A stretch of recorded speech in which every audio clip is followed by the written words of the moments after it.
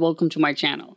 Today I am going to be upgrading my HomeLab Proxmox from 6.1-8 to 6.2 which was just released on the 12th. I was going to upgrade my lab Proxmox anyways and I thought I would just record this video and it might help someone somewhere. So let's get started. As we can see here that my Proxmox environment is 6.1-8. I'm already SSH'd into my Proxmox here. So what we will do is we'll go to the apt sources.list.d directory. Here we have two .list files. One is the PVE Enterprise and then the other is the PVE No Subscription. I am not using the Enterprise version. So if we look at the enterprise.list, I have that. So I'm going to have to comment that out so that we don't pull anything off of the enterprise list. Go here and comment that out. Now I'm going to make sure that I have the right repos in here. Okay, I don't. So what I will do is this seems to be updated like every time you run an upgrade. So it's a good idea to double check whenever you are about to upgrade to your Proxmox. So now I'll put in here deb and then https uh, enterprise. Uh, nope, not the enterprise version. We're going to do the download.proxmox.com slash debian slash pve and then we're going to do the buster uh, PVE dash no dash subscription.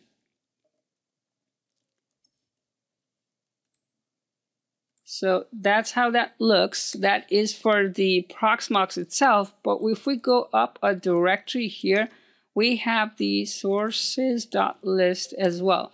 Here we have three um, URLs. Um, so we have the Buster main contrib, we have Buster updates main contrib, and then we have Buster slash updates main contrib, which is for the security update. So that looks good.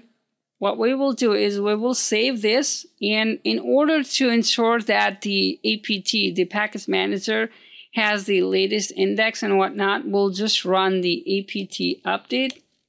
So it'll download all the information here. No longer has a release file, blah, blah, blah.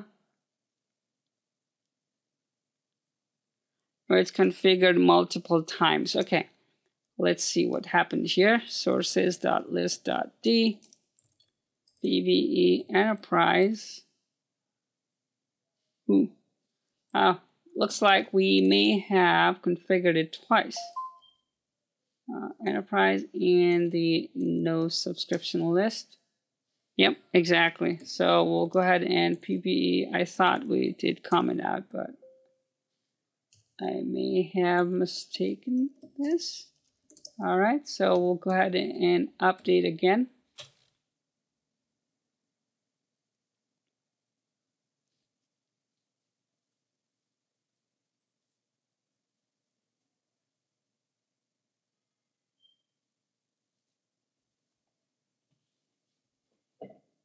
I hope it's able to talk to the internet.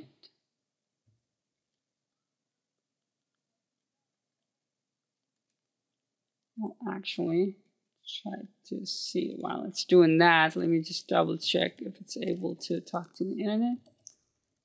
Google.com seems to be working fine.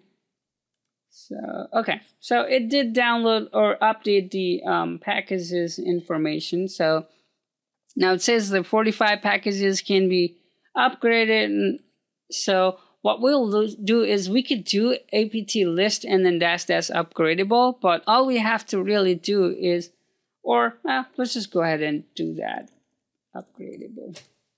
So it shows you what pack packages are you know available for the upgrade.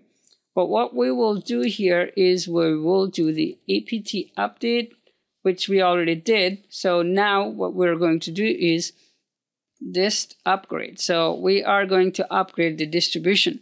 So if you wanted, you could just do like apt update and and so that way you know you ran both the commands in the same um, line.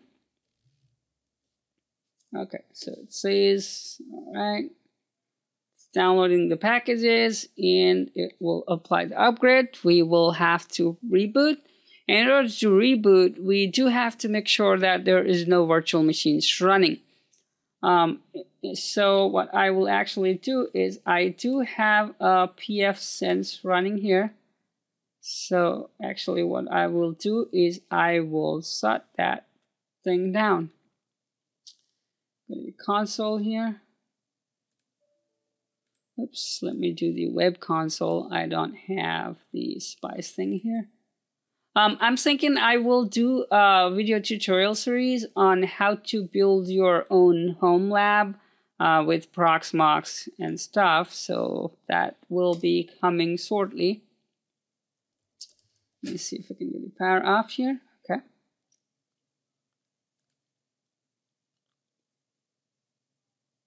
Fifty-three percent. I wish it was like a little in the mid screen, but it's at the bottom.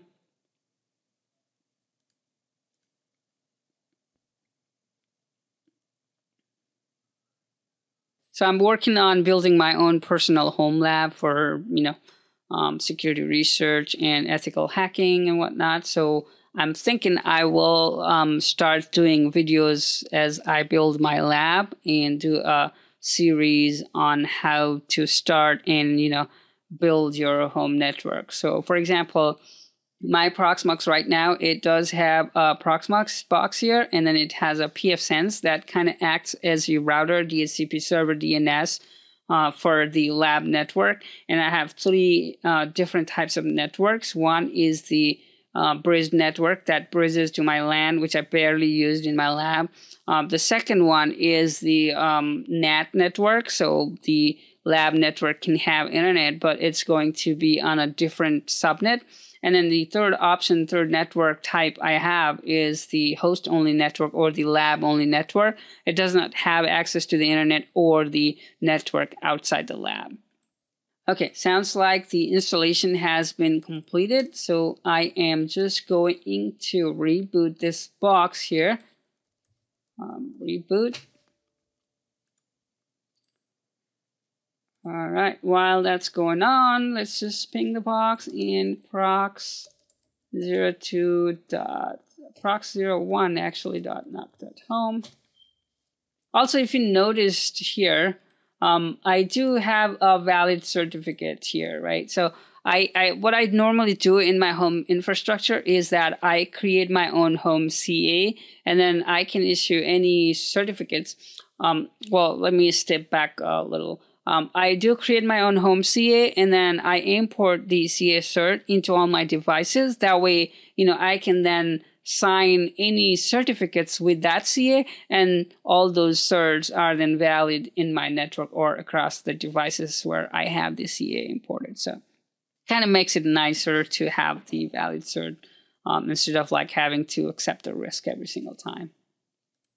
And I do have a script for that in my GitLab. So if you're interested, GitLab Amit and Git22. Oops, GitHub. Okay, so if you go here, uh, I have a thing called local CA. Now, there's the script that does create the CA, and then you can create the cert. I can create a separate video on that if you all are interested. Uh, let me see. Uh, so it's back up. Sounds like it is back up.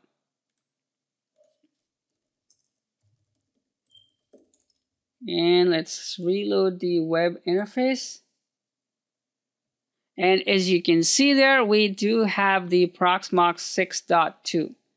So that's all for the upgrade. It wasn't it wasn't really any anything fancy, but I still wanted to just record this in case someone wanted to like see the process and then you know ensure that there wasn't any issues with the upgrade or I did not run into any problems so that you can probably upgrade yours with confidence.